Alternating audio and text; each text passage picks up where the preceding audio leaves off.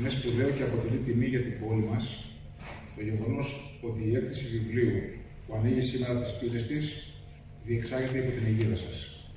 Σας καλωσορίζουμε στην πόλη μας και σας ευχαριστούμε από καρδιά για την παρουσία σας. Κυρίες και κύριοι, καλώς ήρθατε στην Διεθνή Έκθεση Βιβλίου της Θεσσαλονίκης, στη μεγάλη αυτή γιορτή πολιτισμού για την πόλη μας, τη Μακεδονία και τη Θράκη. Στη γιορτή για τον κόσμο των γραμμάτων και τους πνευματικούς δημιουργούς, για τους επαγγελματίες του βιβλίου, αλλά και τους αναγνώστες κάθε ηλικίας. Καλώς ήρθατε στην έκθεση που αποτελεί πια θεσμό καταξιωμένο στην συνείδηση της πόλης.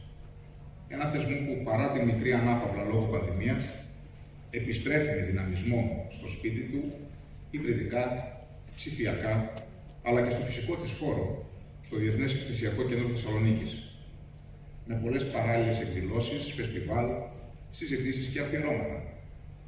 Επιστρέφει για να υπογραμμίσει την αναλύωτη σχέση των Ελλήνων με το βιβλίο και τη συνεχή αύξηση της αναγνωσιμότητας, την ανάγκη ζωντανής επικοινωνίας των συγγραφέων και των λογοτεχνών με το κοινό τους, αλλά και τη διαχρονική αξία και συνεισφορά της πόλης ως κέντρο πολιτισμού και ανταλλαγής ιδεών. Συμβάλλει στην εξωστρέφεια και την τουριστική προβολή της Θεσσαλονίκης, διεθνώς και την τοποθετεί με αξιώσεις στο χάρτη των διεθνών πολιτιστικών διοργανώσεων.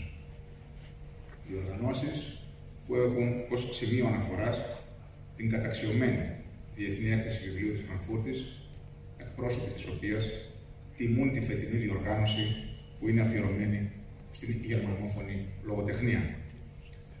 Η φετινή 18η διοργάνωση είναι αφιερωμένη στις διαρκείς επαναστάσεις του βιβλίου.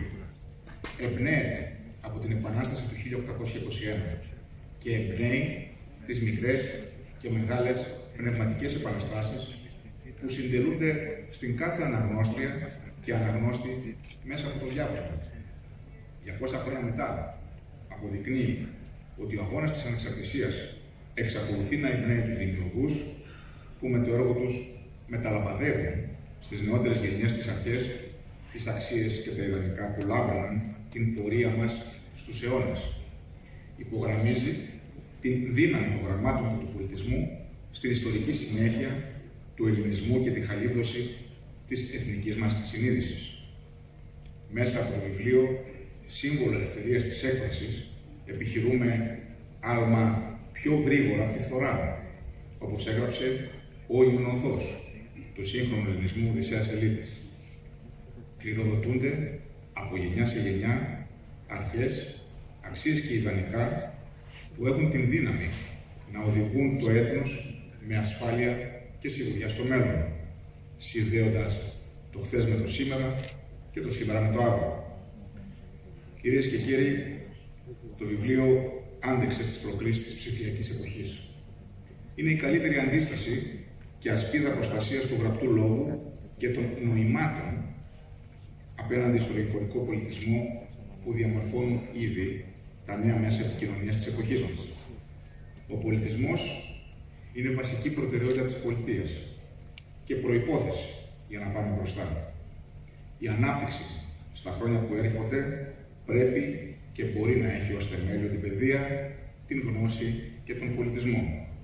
Φιλοδοξούμε και είναι απόφαση του Πρωθυπουργού Κυριάκου Μητσοτάκη και της κυβέρνησης συνολικά να επανατοποθετήσουμε τη Μακεδονία και τη Θράκη στον χάρτη της ευρύτερης περιοχής μας, ανοίγοντας ακόμα πιο πλατιά τις πόρτες στον κόσμο που έρχεται και καθιστώντας τη Θεσσαλονίκη κόμβο διαπεριφερειακής και διεθνούς συνεργασίας, επίκεντρο παιδείας και πολιτισμού.